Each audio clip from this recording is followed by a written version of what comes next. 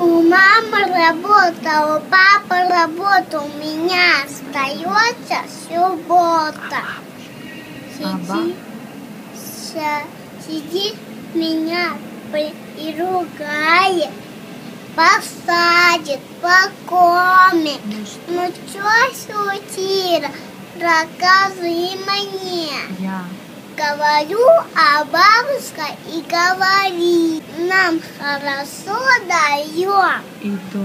и бабушки остается.